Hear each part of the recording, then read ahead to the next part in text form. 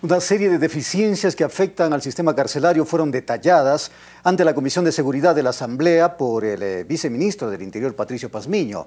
Los legisladores de oposición al gobierno cuestionaron que la titular de la mencionada cartera estatal, María Paula Romo, no haya acudido personalmente a explicar la problemática de las prisiones declaradas en estado de excepción.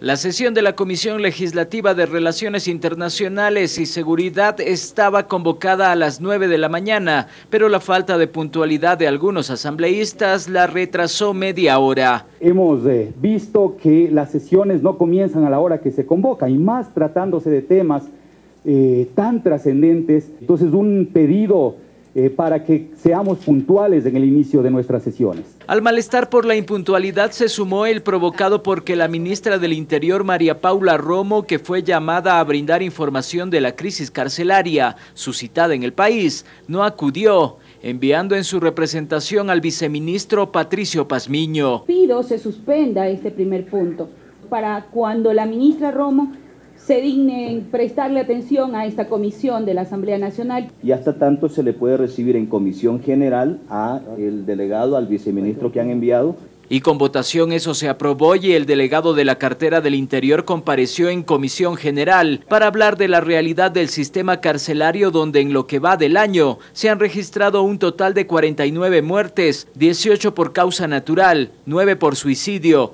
una por homicidio con culpa y 19 asesinatos en actos violentos que han llevado a declarar en estado de excepción a las prisiones. Algunos centros de privación de libertad son lugares improvisados. Y las infraestructuras construidas son sin pensar en una sostenibilidad. El funcionario indicó que a los grandes centros de reclusión construidos en el anterior gobierno no se les dio mantenimiento preventivo y que más allá de las instalaciones con que cuentan, presentan debilidades para su propósito. Psicólogos, sociólogos, son escasos en los centros. No hay una verdadera rehabilitación social. Además, se planteó la necesidad de generar un régimen especial para los centros de reclusión.